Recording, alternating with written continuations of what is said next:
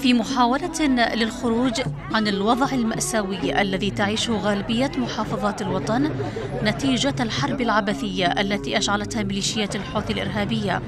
أقيم بمدينة عدن مهرجان للأزياء والتراث الشعبي. طبعا نحن أتينا إلى محافظة عدن ونتشرف بمحافظة عدن انه فتحت لنا المجال. أتينا ببعض المقتنيات مثل مقتنيات المرأة من ملبس وإكسسوارات. وأيضا من زينة.